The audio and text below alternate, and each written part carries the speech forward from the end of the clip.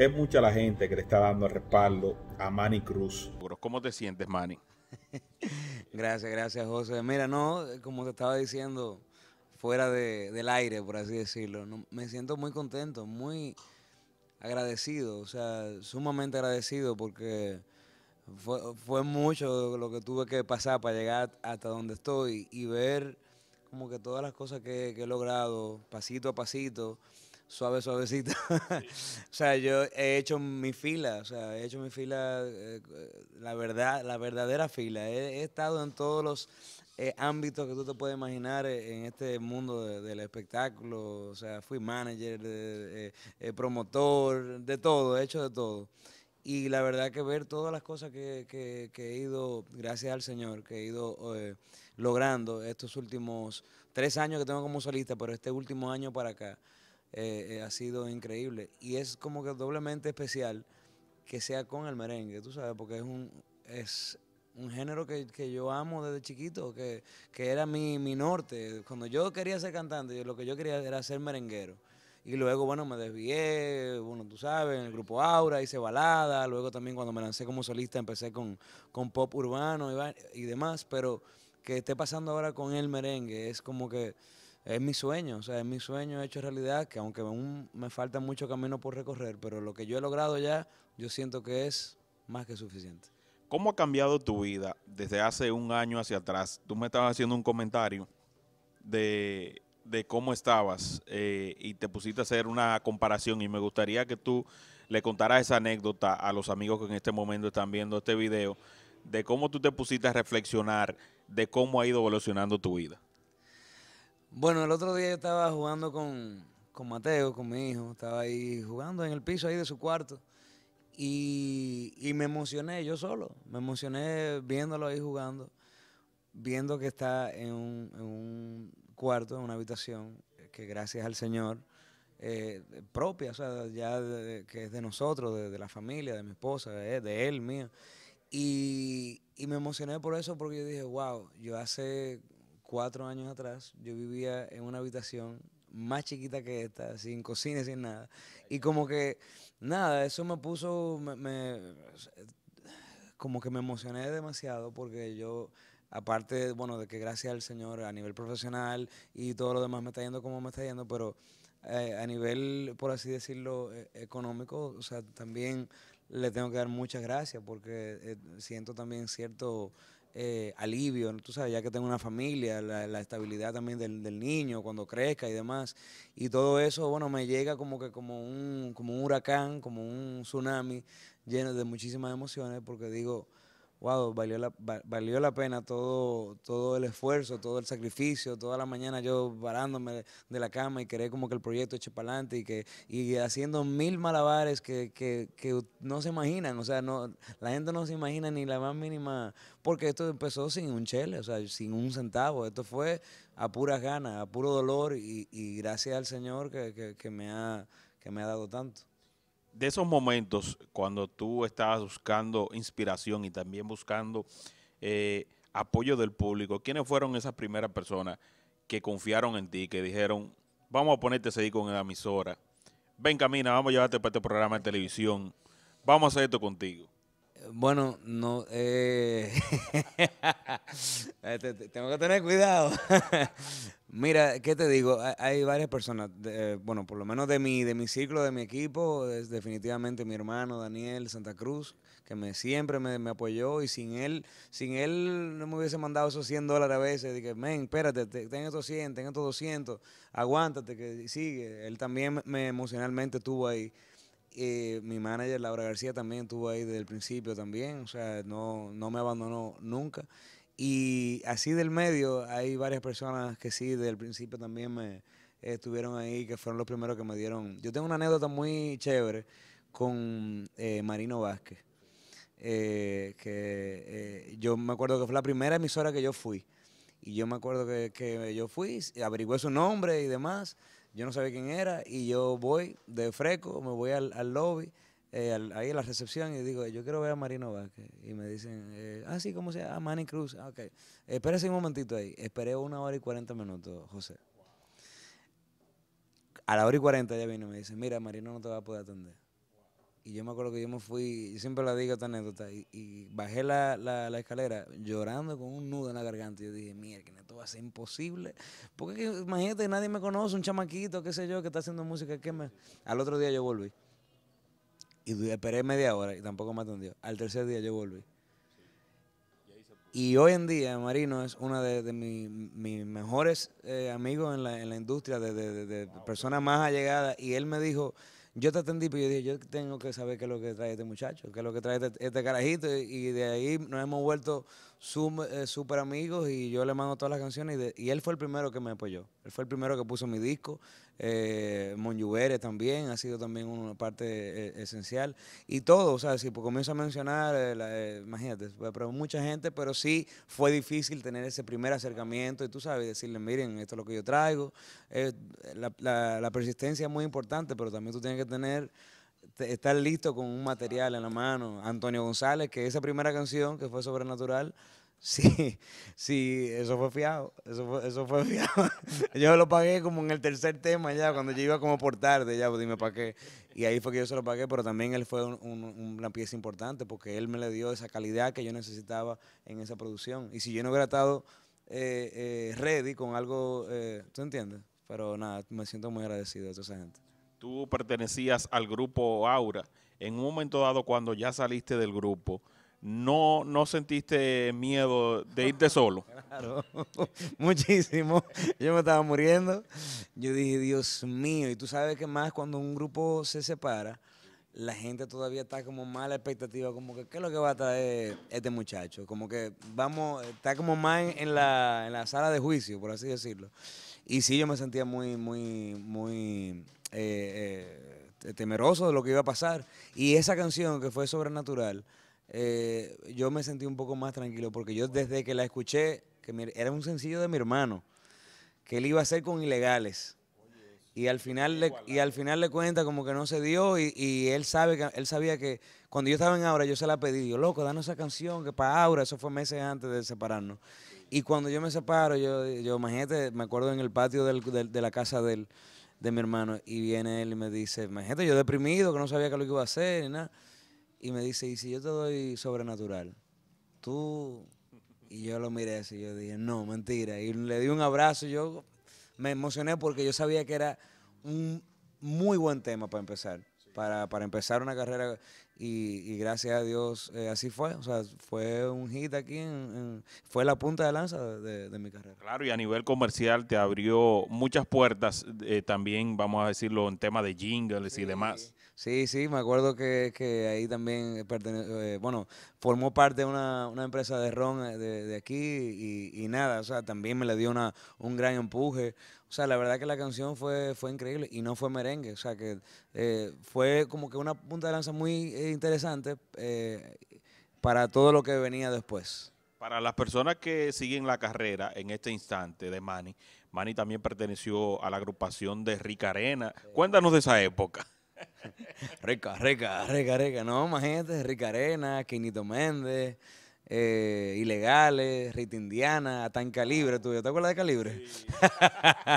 yo estuve en todas, en todas. No, mira, a mí me gustó pasar por todas. Incluso cuando yo, yo viví un tiempo en Miami, eh, que mi, familia se fue para allá y yo al final no me, no me acostumbré y regresé en búsqueda de, este sueño eh, de cantar y de, bueno, de componer.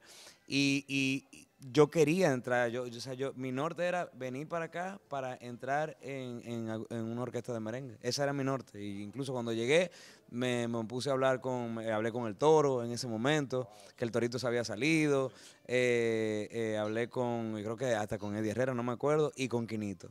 Y entonces Quinito me dijo, bárbaro, aquí en Ricarena. Y me, y me metió en Ricarena. Y me acuerdo que a los par de días yo me sabía todas esas canciones porque que yo... Ricarena era, era eh, claro, la agrupación cuando yo era chamaquito, a los 13 años, 14, era la agrupación que estaba más fuerte.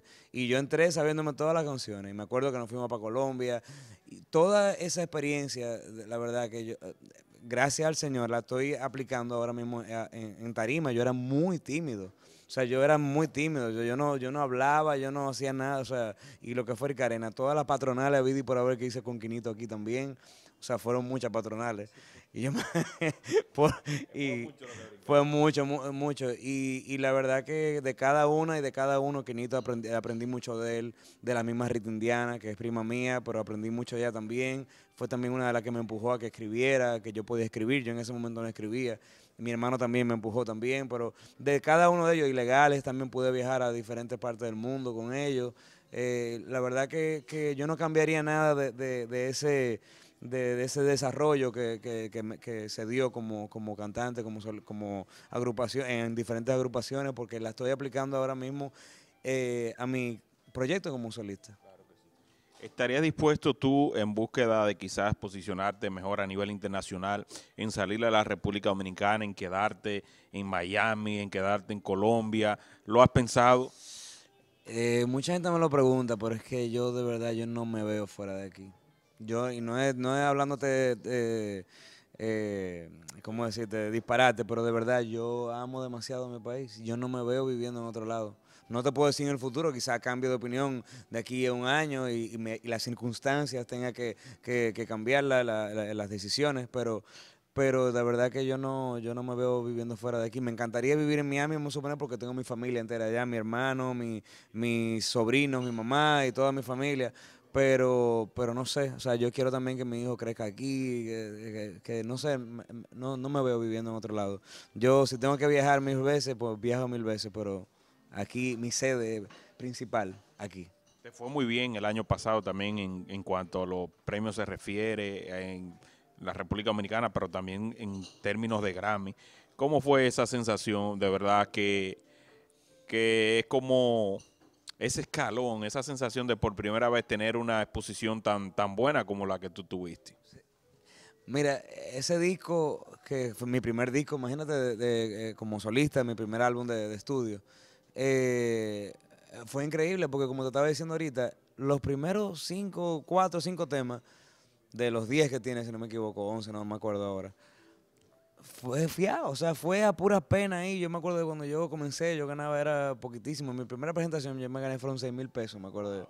Y fue agarrando esos 6 mil y, y 2 mil, eh, eh, yo lo gastaba, y 4 mil era para invertirlo otra vez, eh, para, para pagar la trompeta o para pagar el piano y yo no sé qué. y fue así, chin a chin. O sea, yo en realidad yo creo que también eso es muy importante quizá para los cantantes y artistas, y, yo creo que para, para todo el que, el que esté empezando una empresa, por así decirlo es invertir en tu proyecto y creer y, invertir, invertir, invertir. Y eso eh, poco a poco, duré dos años haciendo ese, ese, ese disco lo más meticuloso posible, tratando de que sea lo más potable para... Claro, tú sabes, y, y nunca pensando en realidad de que, que, ni siquiera me lo iban a tomar en cuenta por un Grammy. Yo estaba haciendo un disco, qué sé yo, como un chamaco que, que estaba persiguiendo su sueño haciendo un disco. Eh, cuando lo logro ya, que, termino en dos años, que lo mando, mi hermano me dice, vamos a mandarlo, que sí que yo. Vamos, pero no sé, como que no, no, estaba siendo negativo, pero yo dije, bueno, que imagínate, hay tantos discos, claro.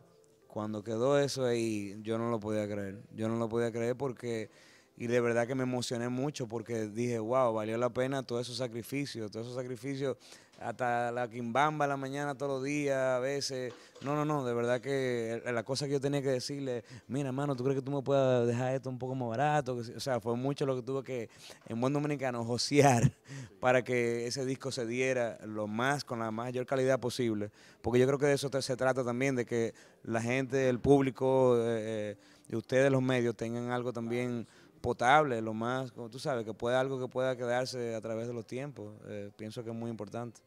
Háblame si tú le has dado seguimiento a la carrera de, Javier Grullón y qué te parece su lanzamiento. Claro, no, si todavía tenemos el grupo Aura ahí en, el chat de WhatsApp.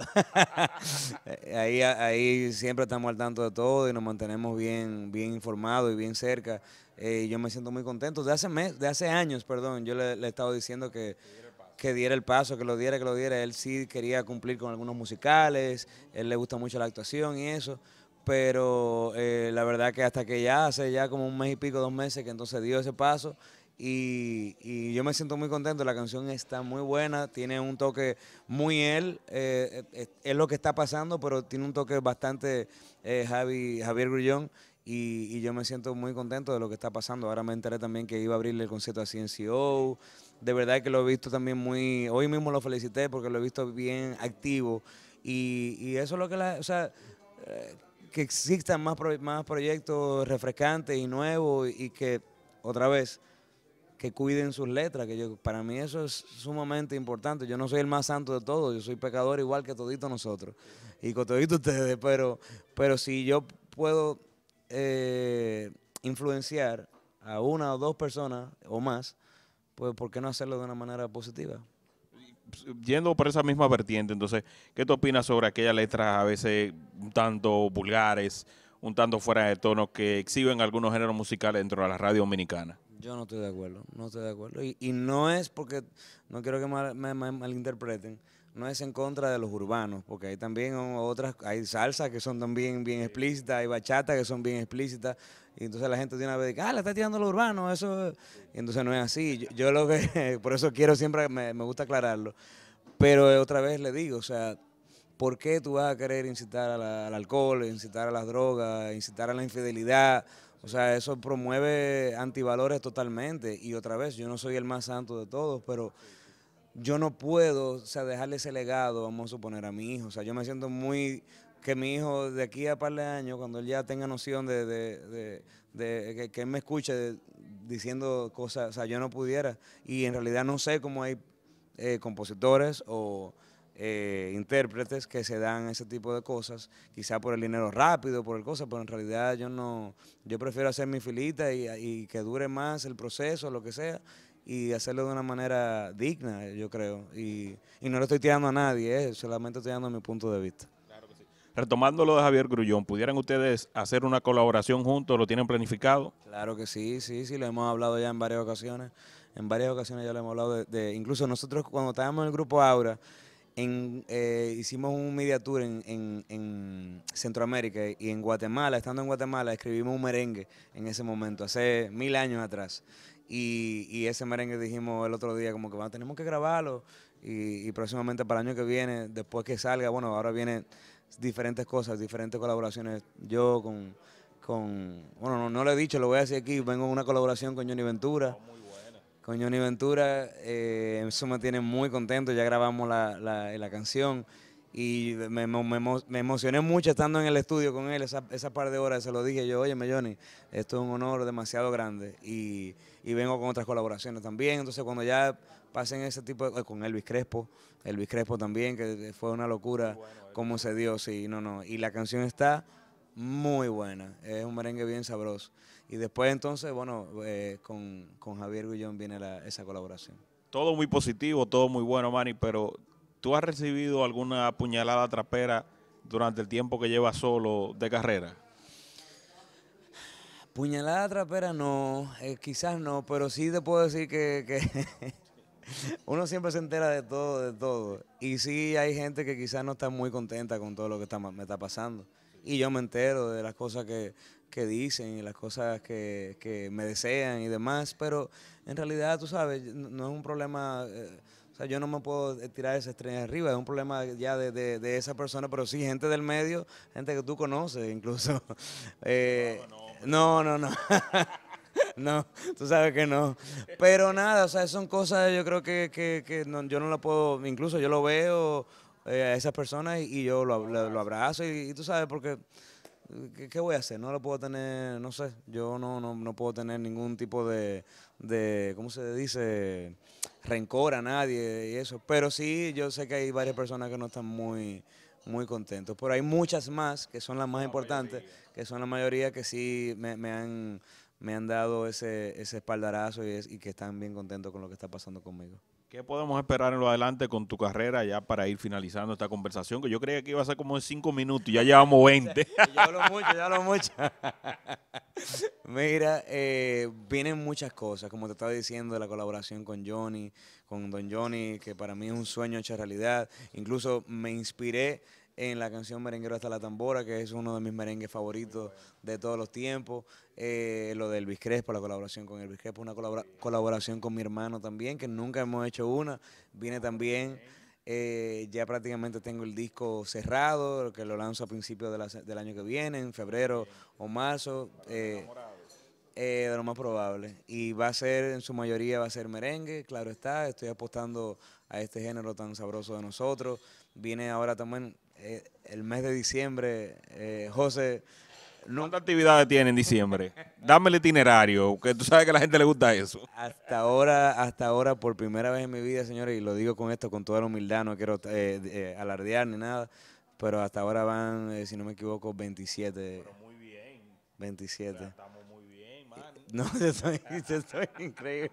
De pronto va a tener que buscar un motorhome entonces para poder descansar un poquito. No, no, increíble. No, y, y, mira, o sea, es algo sumamente que te estaba diciendo fuera del aire. Yo hoy eh, eh, recostado ahí con, con mi esposa, yo, yo estaba diciéndole, es increíble, o sea, todo lo que, lo que está pasando. Y, y, nada, Concha, hasta me emociona un poco porque tú sabes, eh, ha sido mucho lo que, lo que yo he pasado y como que ver todo... nada, tú sabes. Está en tu lista de, posibles artistas para grabar a Juan Luis Guerra. ¿Le has propuesto algo? ¿Le has llevado una composición? ¿Qué te ha dicho? Mira, no, no le, no le he llevado nada, la verdad, pero eh, del tan solo hecho de, yo abrirle el concierto el pasado mes de octubre, fue también un sueño hecho realidad. O sea, un sueño. Es que en estos últimos tres meses fue, ha sido como que tanta noticia, tanta noticia que la gente, o sea, incluso me dice, óyeme, pero que tú me sales por todos lados. Y yo le dije, perdóname, no es mi intención. Pero de verdad, o sea, mira, abrirle el concierto ahí, no solamente abrirle, o sea, el, el hecho de, que él, como se dieron las cosas, yo no sabía que yo iba a cantar con él. Yo de camino a la arena, al estadio, eh, me llaman de su equipo y me, y me dicen, ¿tú te sabes bachata rosa? y yo, de memoria. Y yo, y entonces ahí me dijeron, bueno, pues apréndete de tal parte que, que Juan Luis quiere cantar. Y eso para mí es una distinción demasiado grande, porque incluso el otro día me estaba diciendo mi hermano, oye, es muy grande, o sea, sabe que Juan Luis no ha cantado, ha cantado con un puño de gente nada más en tarima y eso yo al ser mi más grande influencia a la hora de componer, a la hora de yo también comportarme, o sea, es, como mi mayor punto de referencia, de comportarme como artista, como ser humano.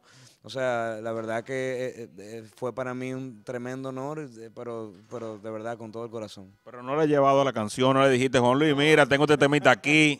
Juan Luis, esta canción, te la voy a tararear, Juan Luis, mira. No se la he llevado, no se la he llevado, pero tú sabes qué, José, eso... Eh, con toda la fe del mundo, porque las cosas yo, yo pienso que eh, tú, las, tú las atraes y eso se va a dar. Algún día se dará y yo tendré el grandísimo honor de, cantar un tema con, Juan Luis. ¿Quién me iba a decir a mí que Shakira y Prince Royce iban a grabar un tema de mi autoría? Nada es, nada es imposible y yo... Sí, gracias a Dios. Y yo pienso que, que sí, ojalá, ojalá que sea pronto y si no es pronto, si hay que esperar de aquí a par de años, ojalá que, ojalá que sí. No, no he tenido ese acercamiento con él porque, tú sabes, me da un poco de, vergüenza y, miedo, pero, pero pronto, Dios mediante eso se dará. Gracias de verdad, Manny, por esta conversación. Seguimos con las exclusivas de José Peguero. Ahí lo tienen, pueden seguirnos en sus redes sociales. Manny Cruz, de verdad que para mí es un honor tener esta conversación con un joven que desde el principio, y con esto no quiero venir aquí a, a decir cosas que no son, pero me ha interesado mucho su carrera y mis medios de comunicación siempre han estado a disposición de él para que él pueda exponer todo lo nuevo que tiene, lo que está haciendo y lo que también seguirá haciendo también. Gracias, de verdad gracias. Y, quiero, antes de cerrar, darte las gracias por eso, porque yo sé que tú siempre has estado ahí y siempre estás pendiente de lo que yo estoy haciendo. Aún así no nos veamos tanto, pero eh, darte las gracias por ese, por ese apoyo también desde el principio, de verdad, José. Éxitos y que siga adelante triunfando. Amén, igualmente. Bye, bye.